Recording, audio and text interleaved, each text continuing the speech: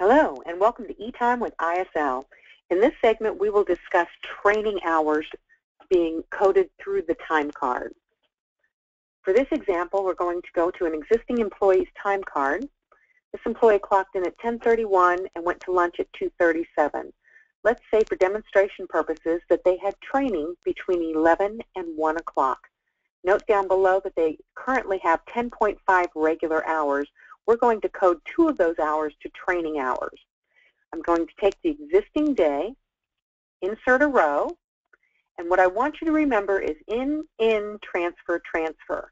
So in this case, they went into training at 11 a.m.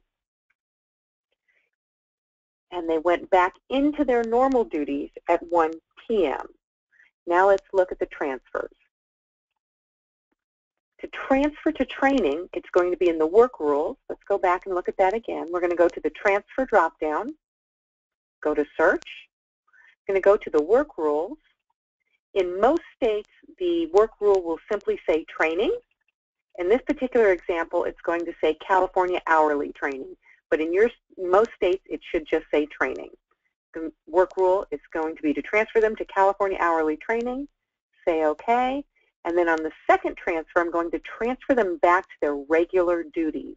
So again, I'm going to, from the transfer dropdown, I'm going to go to search, and I'm again going to tra transfer the work rule back to an hourly employee.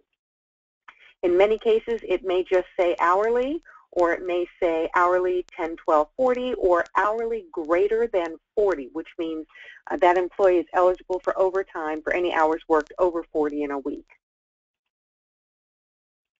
say OK.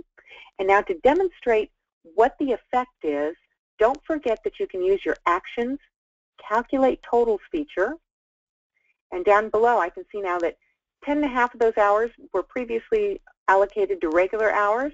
Now we're at eight and a half for regular hours and two hours for training time.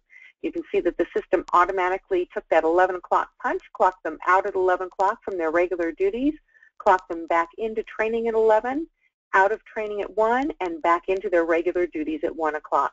So the number of hours has not changed for the day, just where we've allocated those hours.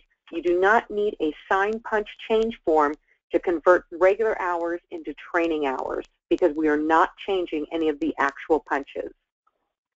If that is your desired effect, you can simply say save. If after doing this, performing this function, you decide that that is not the desired, desired outcome, simply go back to actions and say refresh, and it'll put it back where it once was.